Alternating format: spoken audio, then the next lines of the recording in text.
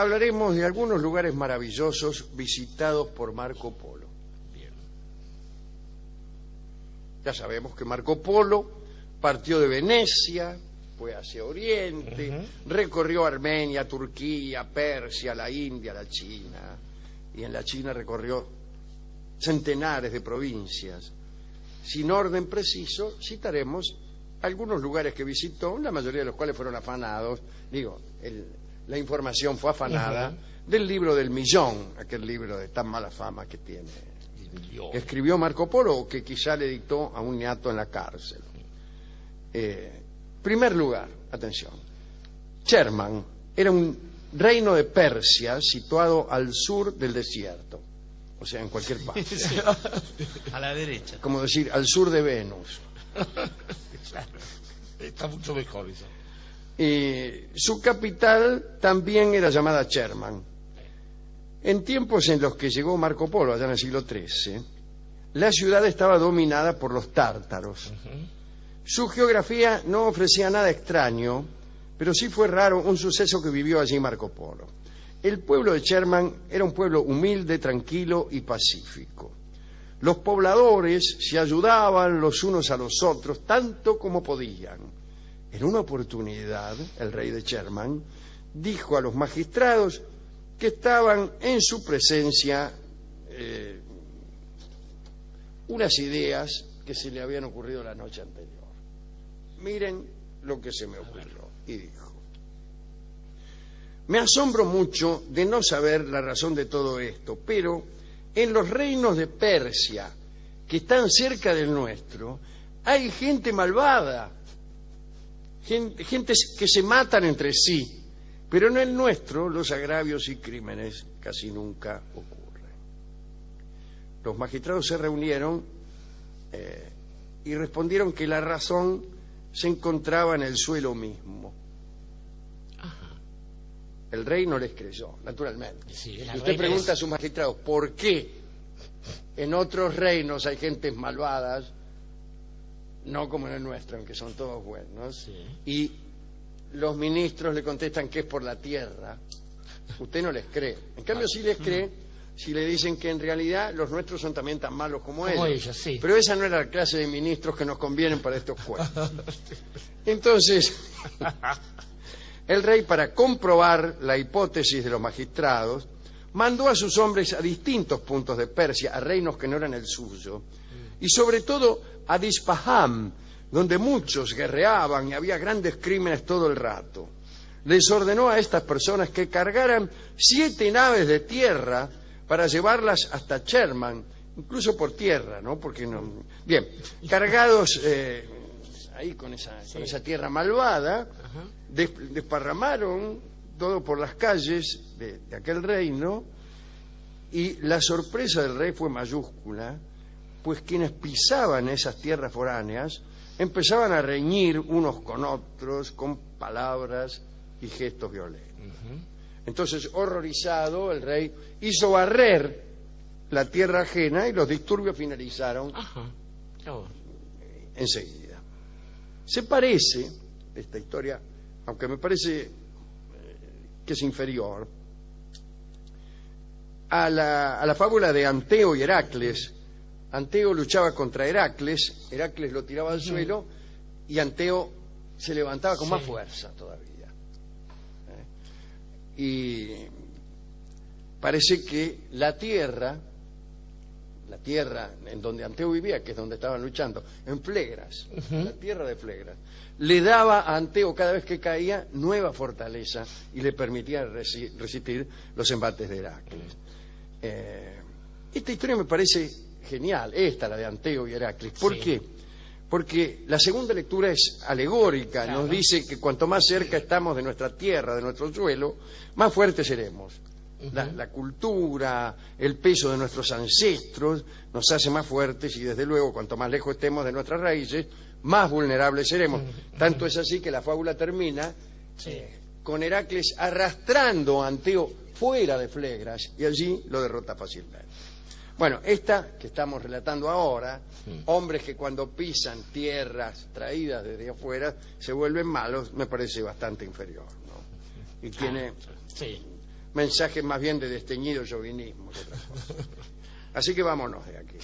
Cerca de Cherma está la ciudad de Curmosa. ¿Cómo me gustaría vivir en la ciudad de Curmosa? Son lindos los piropos, así. Sí, claro. estaba situada en el lugar de la actual Minad, en el Golfo Pérsico. El aspecto diferencial que podía destacarse de este sitio es que allí vivían mujeres que lloraban constantemente. Dice la crónica que ante la muerte de hombres y mujeres, el día que uno deseaba que alguien llorara fuertemente, Sí. sin molestarse en hacerlo uno mismo, contrataba a una de aquellas mujeres. Era un llanto supletorio para quienes, por desdén o por indiferencia, no lloraban y querían que sus muertos fueran dignamente despedidos. Cuenta Marco Polo que en el reino Ken Li Fu, la actual Yanghu, digo para que se ubiquen, ya en la China, solo hay una cosa que merece ser contada. Dos puntos. Las gallinas tienen pelo en vez de plumas. Y aclara con gran prolijidad, un pelo negro. Las gallinas de Ken Li Fu son morochas. Marco Polo cita también la ciudad de Kashmere, que no cuesta eh, identificar con la actual Cachemira. Eh, allí viven unos ermitarios exitosos en sus milagros, sobre todo en el poder que tienen sobre los astros.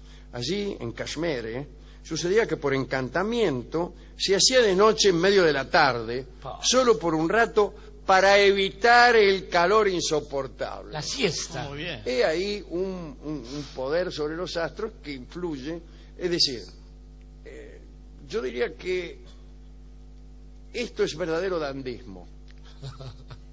Es un esfuerzo gigantesco para un resultado Sí, sí. más bien menesteroso. Es decir, ¿cuál es el- el- el- la fuerza que uno pone en juego? Bueno, mueve el universo todo. Llaman Mueve el sol, eh, modifica el recorrido de los planetas, etcétera. ¿Para qué? Para no tener tanto calor unos tipos. Más bien, más bien Y un agregar, rato. pues, claro, un rato, un claro. rato. No va a andar Una muriendo. maravilla. La ciudad de Pem, este, dominada por el Gran Ham, Sí. era famosa por su producción de piedras preciosas. Abundaba sobre todo el jade, pero lo que interesó a Marco Polo fue otra cosa.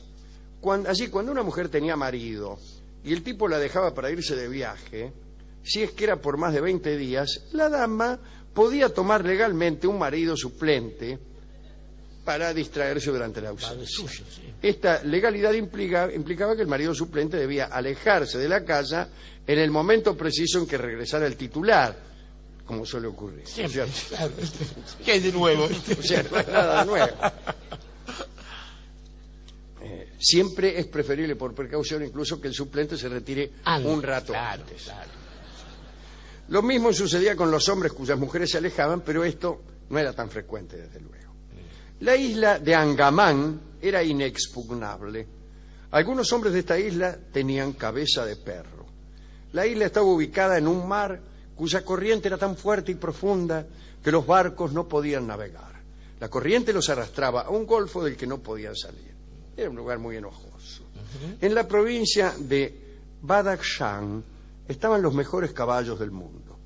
Dicen que eran descendientes del caballo de Alejandro, Bucéfalo, que anduvo por allí. Sí, señor. Alejandro llegó hasta Lindo. Claro, y además hay en- el- hasta el punto fue importante esto que hay una placa en algún lugar que dice hasta aquí llegó Alejandro, aquí se detuvo Bucéfalo, en esa piedra, Muy bien. hermosa piedra. Los- todos estos animales, me refiero a los descendientes de Bucéfalo, nacían con un cuerno y una estrella sobre la frente, Sí. como quien lleva en la frente ubicada una luz más. Dice una milonga. Bueno, eran los más veloces de todo el continente. Marcaban 1.30 la milla. Es un dato Sí, sí, sí. conjetural y claro, nuestro. pero que no está mal. Pero esta raya, de- eh, esta raya no. Discúlpeme. Sí, sí. Largaron. Sí. Los niños me hacen chistes. Ay, ay, ay. Esta raza de caballos fue lamentablemente destruida. Los últimos se encontraban en poder de un tío del rey de Badakhshan y cuando este tío se negó a prestarle al rey uno de ellos, caballo, Sí. que prestaba un caballo y no quiso, el rey lo mandó a matar. Y ahora muy bien, la mujer del tío, o sea, la tía, ante la muerte de su esposo, aniquiló todos los caballos que quedaban. Y así desapareció la estirpe de bucéfalo, lo que puede la mezquindad. Ujú. Sí, Así señor. que hay que prestar lo que a uno se le solicita para no extinguir estirpes de ninguna índole. Qué bárbaro. Estos son los lugares que Marco Polo dice haber visitado en el libro del millón, más muchos otros. Libro que, como he dicho, no tiene buena fama, porque los enemigos de Marco Polo siempre han dicho que no era más que una colección de mentiras.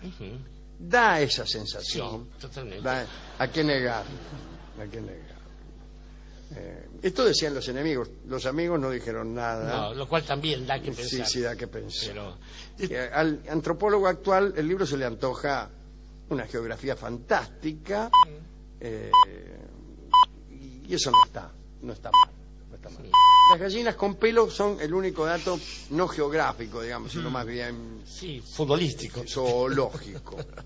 ¿A quién quiere dedicar estas maravillas que acabamos de glosar? Estaba pensando, Alejandro, en algunos datos en los que uno no puede menos que pensar.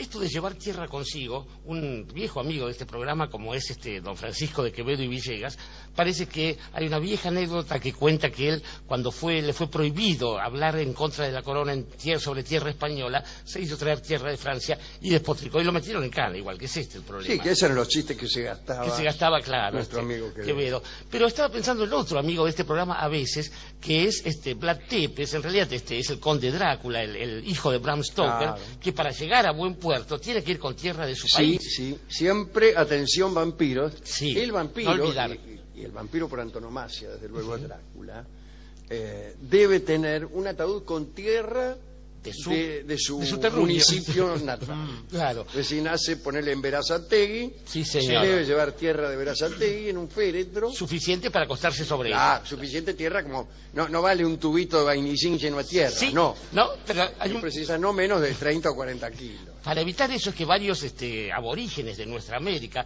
este, el pueblo este, inuit, o sea, los esquimales, por ejemplo, y otros también, andan con una bolsita en la que llevan un cacho de tierra, y esto demuestra que lo importante no es la cantidad, sino la calidad, cosa que deberían Sí, saber los es decir, terratenientes. la tierra se empieza a convertir en un símbolo. Claro. Después dejan de llevar tierra, Claro, y llevan ya- alguna otra cosa. Pasaporte. eh, y después dejan de creer. Claro. bueno, El proceso. de- Enos aquí, enos aquí. Estaba recordando lo de Anteo y Flegas, que efectivamente, yo iba a decir que una mirada tranquila sobre eso nos lleva al patriotismo, pero no hay miradas tranquilas sobre eso y enseguida el patriotismo se vuelve chauvinismo y ahí estamos fregados. Sí, este sí. asunto. Eh, bueno, lo de mi Sí, sirve como procedimiento poético. Sí, claro, claro. El, el- el patriotismo como procedimiento poético es emocionante. Ujú, Hasta ahí. ujú, Hasta ahí, Hasta claro. ahí es emocionante. No hay mucha gente que lea bien poesía, es este el problema en los tiempos que corren, ¿no? Como sabemos. Eh, lo del esprit de finesse me impresionó mucho, eso es ser un dandy, efectivamente, esto de oscurecer, porque ¿qué hace uno? Uno se somete este, torpemente a la naturaleza y a la hora de la siesta se mete para adentro. Claro, Ah, si así compra una sombrilla. Claro, ¿Para qué? Para que después se huele y achure alguna vieja. Y en general, Alejandro, lo que pensaba es que los viajes ya no son lo que eran, porque justamente Marco Polo ganó eh, fama, predicamento, e incluso hizo algún que otro negocio diciendo, bueno, porque resulta me voy para allá y hay una ciudad, eh, y contaba cualquier cosa, y más o menos era verosímil. Hasta hace un tiempo no había tanta gente que hubiera viajado. Hoy, ya con YouTube, esas porquerías que hace por ahí, uno puede, cualquiera puede comprobar Cualquier que- imbécil va a la China, Sí, vamos, señor. dígalo. Bueno, lo dijo usted, pero es cierto, queridos amigos de Beijing. Y, sobre todo, cualquier relato está sometido a la peor de las comprobaciones, que es justamente la del naturalismo fotográfico, que permite que alguien diga, ah, pero no es como vos lo dijiste, como si eso tuviera que ver. Puede ser una gallina con pelo, es una gallina cualquiera. Cualquiera, claro. Bueno, pues no. Ocurre que hay miradas que pueden ver pelos en una gallina e incluso en otras partes, porque también, no solo los viajes a los lugares exóticos, Eh, Occidente vio a Oriente en una época como maravilloso, fantástico, Marco Polo, después la vio como exótico y después le pasó por encima. Así que ojo al gol con eso.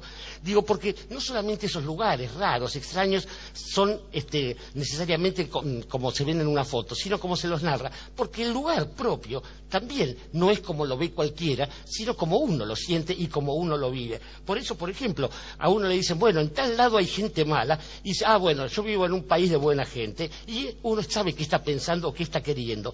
Por eso digo, cuando le cuenten historias de afuera, usted vaya primero y compruébelo, porque usted sabe que lo que siente usted cuando llega al terruño, cuando llega a ese lugar que le pertenece, sea el lugar donde nació o cualquier otro, una tierra es patria para unos, exilio para otros, dijo el poeta, siempre va a decir, sintiendo algo especial, está lindo el barrio. Está lindo el barrio, canta Joan Manuel Serrat.